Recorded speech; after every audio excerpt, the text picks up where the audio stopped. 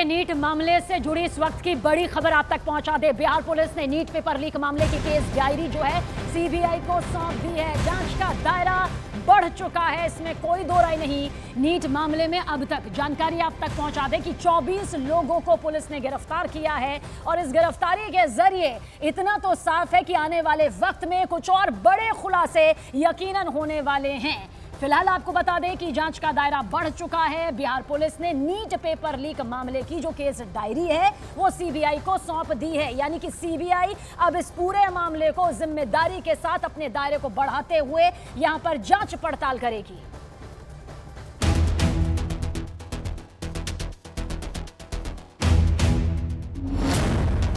NEET paper leak कांड में सबसे बड़ा पर्दाफाश।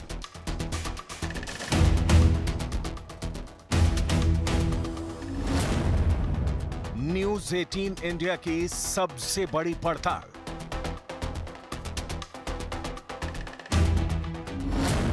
पेपर लीक की पूरी trail super exclusive. NEET paper leak कांड की जाँच जितनी तेज़ी से चल रही है, उतनी ही लंबी उसके गुनहगारों की लिस्ट होती जा रही है। लेकिन अब इस कांड में न्यूज़ 18 इंडिया की पड़ताल में वो जानकारी सामने आई है जो हैरान करने वाली है। न्यूज़ 18 इंडिया के पास एक्सक्लूसिव जानकारी है कि कैसे कैसे प्रश्न पत्र आया और कैसे वो हजारीबाग के उस सेंटर पर पहुँचा। हमने पूरी पड़ताल की है और पाया है कि अहमदाबाद के एक प्रेस में नीट का पेपर छपा और 28 अप्रैल को पेपर के नौ बॉक्स को ब्लू डॉट कुरियर ऑफ़िस भेजा गया। ये प्रश्न पत्र रांची से हजारीबाग के स्टेट बैंक पहुँचना था, लेकिन बैंक की जगह हजारीबाग के ब्लू डॉट कुरियर ऑफ़िस पहुँच गया। और इसी के बाद शुरू हुई पेपर में छेड़छाड़ की कोशिश, क्योंकि बिहार अपराध इकाई की जाँच टीम के मुताबिक कुरियर ऑफ़िस से जब स्टेट बैंक पेपर के बक्से भेजे गए तो इन्हें ट्रक की जगह ई रिक्शा से भेजा गया। और परीक्षा वाले दिन स्टेट बैंक से प्रश्न पत्र के नौ बक्से हजारीबाग सेंटर पहुँचे। स्टेट बैंक से ओएसएस स्कूल की दूरी चार किलोमीटर है और मात्र चार किलोमीटर की दूरी तय करने में डेढ़ घंटे का वक्त लगा। जो हैरान करने वाला है, इसी टाइमिंग को लेकर सवाल उठ रहे हैं। यानी स्टेट बैंक और ओएसिस स्कूल के बीच पेपर बॉक्स ले जाने के दौरान लगे डेढ़ घंटे के बीच नीट यूजी के प्रश्न पत्रों से भरे बॉक्सों से छेड़छाड़ किए जाने की आशंका है, क्योंकि ओएसिस स्कूल में परीक्षा के लिए जो नौ बॉक्स पहुँचे थे, उसमें आठ बॉक्स बिल्कुल सही सलामत थे, लेकिन नौवे बॉक्स के पीछे की सील टूटी हुई थी और टेम्पर किया हुआ था, क्योंकि क्वेश्चन पेपर की ऐसी पैकिंग है कि अगर कहीं खुल जाए और उसे दोबारा चिपकाया जाए तो टेम्पर का पता चल जाएगा। इस बीच बिहार की आर्थिक अपराध इकाई की जाँच टीम को यह पता चला कि बुकलेट एक लिफाफे में थी, जो एक तरफ़ से सील पैक होता है और दूसरी तरफ़ से चिपकाने वाला था। और जाँच के मुताबिक पेपर लीक कांड के आरोपियों ने लिफाफे को चिपकाने वाले की तरफ़ से नाक खोलकर दूसरी तरफ़ कैंची से काटकर बुकलेट को निकाला। फिर उसे कायदे से पैक कर दिया ताकि किसी को शक ना हो। इस बीच ईओयू की जाँच में पता चला है कि परीक्षा से एक दिन पहले पटना में पुलिस को जो अधजला बुकलेट नंबर 61364888 मिला था, वो बुकलेट नंबर का ओरिजिनल क्वेश्चन पेपर हजारीबाग के ओएसएस स्कूल के सेंटर पर एक लड़की को मिला था। उसको रिज़ल्ट में 110 नंबर आया है। इस पड़ताल के बीच बिहार पुलिस की जाँच टीम ने उस लड़की से पूछताछ की। उसके पास से क्वेश्चन पेपर और जिस प्लास्टिक के पैकेट में क्वेश्चन पेपर रखा था, वो मिला, जिसे ईओयू की टीम ने जब्त कर लिया। आर्थिक अपराध इकाई की लड़की से पूछताछ में पता चला कि उसको जब क्वेश्चन का पैकेट मिला था, वो पैकेट फटा हुआ था और लड़की ने अपना जो क्वेश्चन पेपर हल करते समय टिक लगाकर उत्तर तैयार की है, उसका टिक छोटा है। जबकि पटना में जो जला हुआ क्वेश्चन पेपर मिला है उसको हल करने में बड़ा टिक लगाया गया है। मतलब ये कि लड़की के क्वेश्चन पेपर मिलने से पहले बॉक्स से पेपर को टेम्पर करके निकाला गया था, या तो क्वेश्चन पेपर बैंक से सेंटर पर आते समय निकाला गया, या फिर हजारीबाग कोरियर ऑफ़िस से बैंक जाते समय निकाला गया है। ईओयू को पूरा शक और जो साक्ष्य मिले हैं उसमें सबूत बताते हैं कि ये पूरा खेल बैंक से क्वेश्चन पेपर सेंटर ले जाते समय या ओएसएस स्कूल पहुँचने के बाद लीक हुआ है। यही नहीं, जाँच में यह भी पता चला है कि पटना के लर्न एंड प्ले स्कूल में भले ही अभ्यर्थियों को एक दिन पहले क्वेश्चन पेपर रटने के लिए बुलाया गया था, लेकिन वहाँ पर प्रश्न पत्र परीक्षा के दिन सुबह 10 बजे पहुँचा था और नीट यूजी की परीक्षा सेकंड हाफ़ में थी।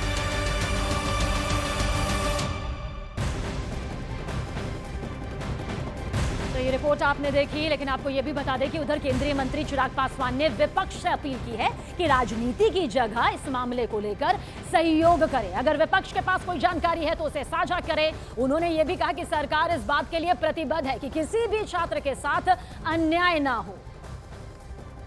नीट को लेकर लगातार विपक्ष हमलावर हो रहा है, पहले दिन भी ये देखने को मिल रहा है। लगता है कि सदन चल पाएगा आगे।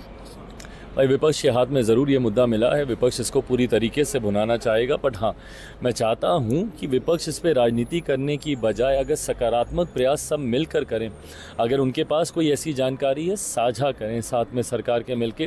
प्रधानमंत्री जी, हमारी केंद्र की सरकार इस बात को लेकर प्रतिबद्ध है कि छात्रों के साथ कहीं कोई अन्याय नहीं होना चाहिए। जाँच एजेंसी भी अपना कार्य कर रही हैं।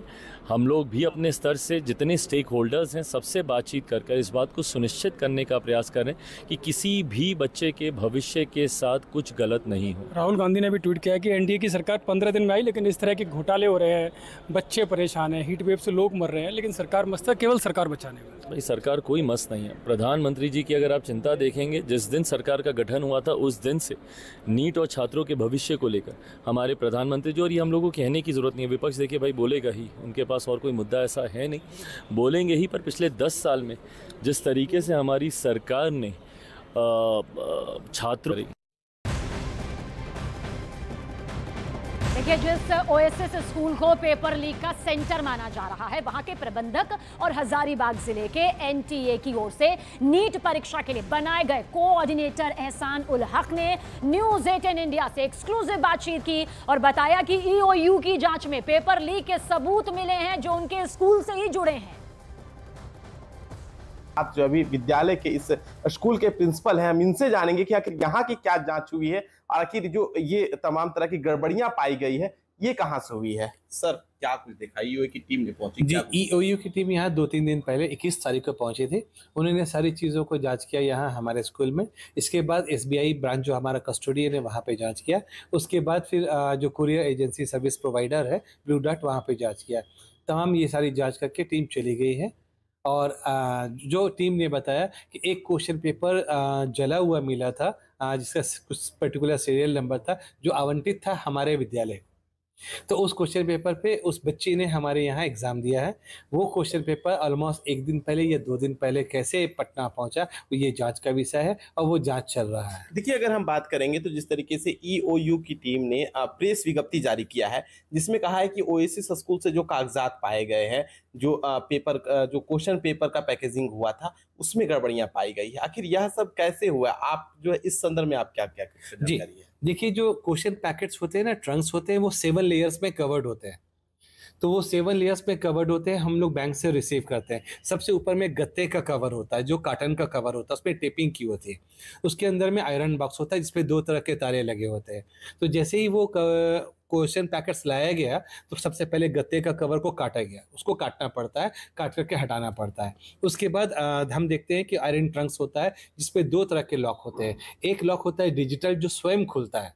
जैसे कि एंटी ने कहा था कि वो एक पंद्रह में, सवा एक में स्वयं खुलेगा। लेकिन इत्तेफाक की बात है कि पूरे कंट्री में कहीं भी वो खुला नहीं। अल्टीमेटली एक बीस, एक पच्चीस पे एन की गाइडलाइन है कि उसे कट कर दिया जाए। एक बगल में आरी दिया रहता है जिससे दूसरा ताला कट करते, उसी ताला से उसे कट किया जाए। और फिर कट करके वो पैकेट खुला। और ये सारी प्रक्रिया जब होती है, उस समय सीएस मौजूद रहते हैं। दो डिप्टी सी मौजूद रहते हैं। एनटीए से भेजा हुआ ऑब्जर्वर मौजूद रहता है। दो इन्विजिलेटर्स मौजूद होता है। और दो वहाँ पे जो बच्चे नीट के अभ्यर्थी होते हैं, वो खुद मौजूद होते हैं साक्ष्य के तौर पर कि हमारे सामने सब कुछ हो रहा है और सब कुछ ओके है। तो इतने सारे लोग गवाह के तौर पे होते हैं और ये सारी चीज़ कैमरे के निगरानी में होते हैं।